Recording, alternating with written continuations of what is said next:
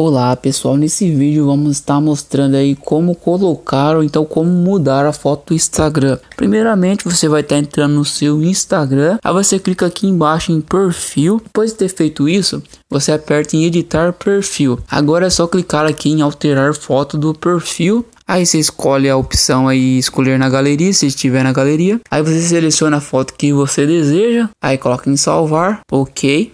Aí você vai em editar perfil de novo. Aí ela vai ser atualizada, é só você fechar. E prontinho, a foto de perfil foi alterada. Espero que vocês tenham gostado e até a próxima.